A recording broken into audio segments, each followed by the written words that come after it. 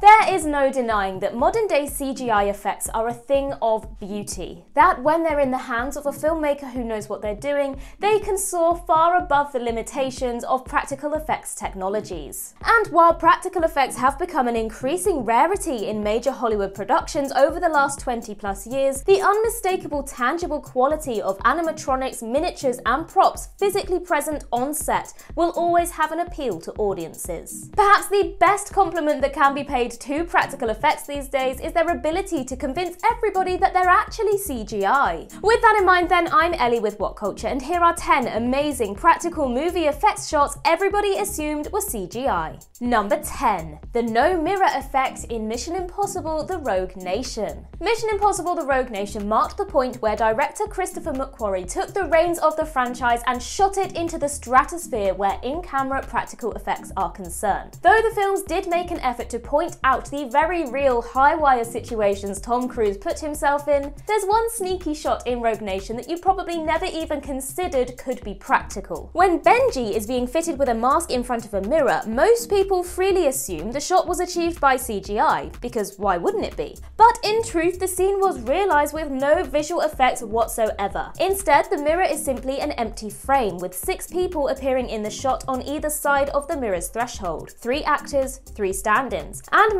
matching their movements to convincingly simulate a reflection. To make the final effect so convincing, the camera movements and actor blocking had to be absolutely note perfect. Though Rogue Nation isn't the first film to execute this trick, both Evil Dead 2 and Terminator 2 famously used it, given this film's recency, you'd be forgiven for assuming that they just pulled it off in post. Number 9. The Underwater Apartment in the Shape of Water. One of the most visually evocative scenes in Guillermo del Toro's Best Picture winning The Shape of Water occurs in the film's opening title sequence, where protagonist Elisa dreams that her apartment is flooded, causing her and various pieces of furniture to float. Given del Toro's expert ability at executing complex, effects-heavy set pieces, it was easy to assume that this was just a brilliantly convincing CGI effect, but alas, its base was in fact totally practical. The scene was shot using an old school filmmaking technique called dry for wet, where Sally Hawkins and various props in the scene were actually suspended in the air by monofilament wires, with murky lighting used to replicate the ambience of actual water. Though VFX touch-ups were employed to make Hawkins' hair seem wavy, to add a watery texture to the scene, and to add a few more floating props, the bulk of this scene was incredibly pulled off in camera. Number 8. Jar Jar's hand in Star Wars Episode 1 The Phantom Menace. It is no secret that actor Ahmed Best served as a stand-in for Jar Jar Binks in The Phantom Menace, appearing in a practical rudimentary costume which was later painted over by the film's VFX team. As such, it'd be fair to assume that every frame of Jar Jar we see in the movie is a digital effect. But that's surprisingly not the case. For the brief close-up shot where Jar Jar gets his hand stuck in one of the engines on Anakin's pod racer, George Lucas eschewed CGI entirely by simply using Best's real hand within his practical on-set Jar Jar sleeve. It lasts just a few seconds, but probably saved the production a few thousand bucks in VFX billings. So that's something at least. Number 7. From Sepia to Technicolor in The Wizard of Oz. You won't find many more iconic movie scenes than the heart-stopping moment in The Wizard of Oz where Dorothy enters the land of Oz for the first time, and her sepia-toned world transitions into colour. As Dorothy opens the door from the farmhouse, the colourful Oz can be envisioned beyond the doorframe, an effect which audiences would understandably assume was painstakingly painted frame by frame in post-production. Though the original plan was to hand tint every frame of the scene sepia where necessary, this ultimately turned turned out to be too expensive and too time consuming. So the studio settled on a much quicker, cheaper and altogether smarter solution. Instead, the farmhouse interior was painted sepia, and when Dorothy opens the door, she's played by a stand-in for Judy Garland, who is also painted sepia to match. As the door opens and we dolly forward into Oz, Garland then walks into frame in her iconic blue-white dress. To the unassuming viewer, it seems like this must have been achieved in post-production, but alas, it was 100% captured on the day. Number 6. The T-Rex in Jurassic World Fallen Kingdom. Jurassic World Fallen Kingdom is a $190 million CGI slathered behemoth of a movie, such that it's easy to forget that it actually contains more practical effects than any other entry in the Jurassic Park series. Perhaps the most technically impressive of all the practical dino scenes occurs when Owen and Claire sneak into the T-Rex's cell to acquire some of its blood, so they can give beloved Raptor Blue a blood transfusion. Despite the technically imposing intimacy of the scene, Chris Pratt and Bryce Dallas Howard are indeed acting opposite a gigantic T-Rex animatronic. Though it's easy to picture a scenario where the two actors were instead working with an unsightly green blob, which would be painted into dinosaur form later, director J.A. Bayona wanted to ensure that Pratt and Howard had something tangible to react to. In a thoroughly mediocre film, it's actually tellingly one of the very best scenes. Number 5. Baby Jack Black in The House with a Clock in Its Walls. Eli Roth's fantasy comedy film The House with a Clock in Its Walls is filled to the brim with lavish visual effects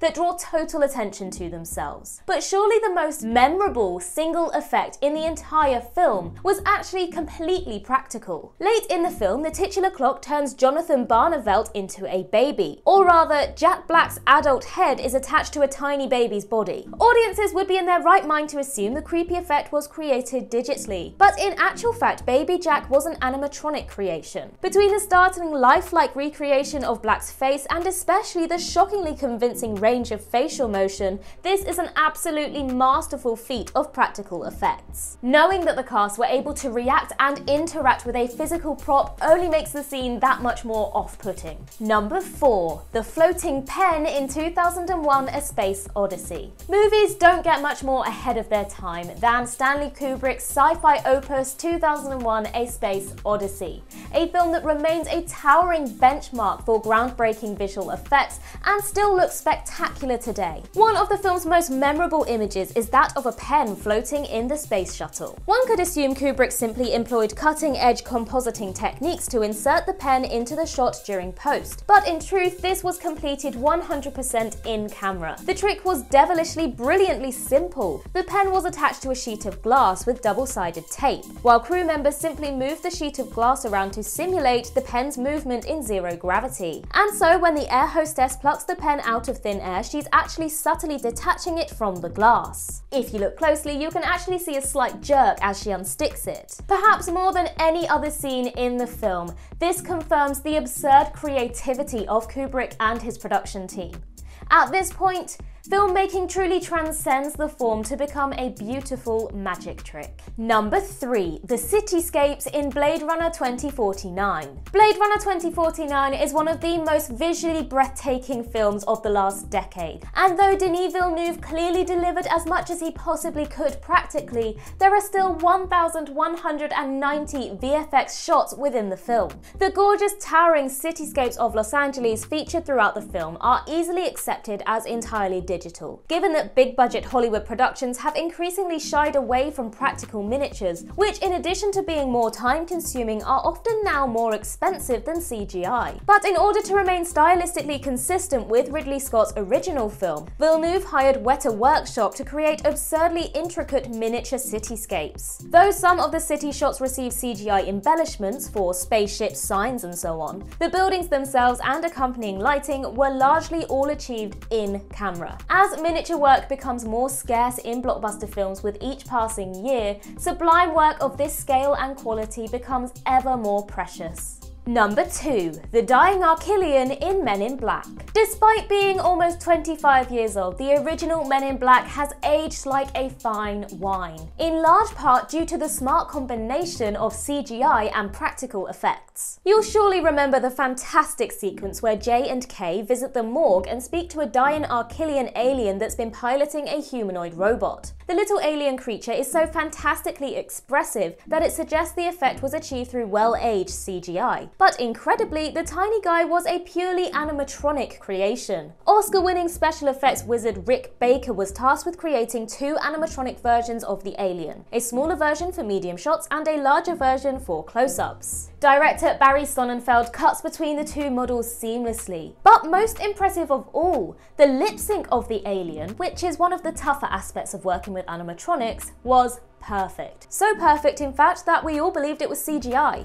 Number 1. Space in the Fountain. Nobody is going to tell you that Darren Aronofsky's masterful sci-fi romantic drama, The Fountain, doesn't contain a hefty amount of CGI. But many of the elements that are assumed to be digital were actually achieved practically. Because the film's budget was halved to $35 million during pre-production, Aronofsky was required to get creative in order to achieve his hallucinogenic deep space effects throughout. He ultimately decided to eschew CGI wherever possible in favour of macro photography, hiring specialist Peter Parks to create surreal imagery by reacting chemicals and bacteria together and filming it in extreme close-up. All in all, these effects only cost $140,000. And during post-production, the footage Parks shot was composited together to create a dreamlike landscape, quite unlike anything audiences had ever seen in a film before. Though some of the sequences were indeed embellished with CGI, the gorgeous backdrops are entirely practical effects effects, yet rendered unrecognisable to the layperson due to the magnification involved. Parks perhaps put it best himself. When these images are projected on a big screen, you feel like you're looking at infinity. That's because the same forces at work in the water, gravitational effects, settlement, refractive indices, are happening in outer space. And that concludes our list. If you can think of any other examples, then do let us know in the comments below. And while you're there, don't forget to like and subscribe and tap that notification bell. Also head over to Twitter and follow us there, and I can be found across various social medias just by searching Ellie Littlechild. I've been Ellie with What Culture. I hope you have a magical day, and I'll see you real soon.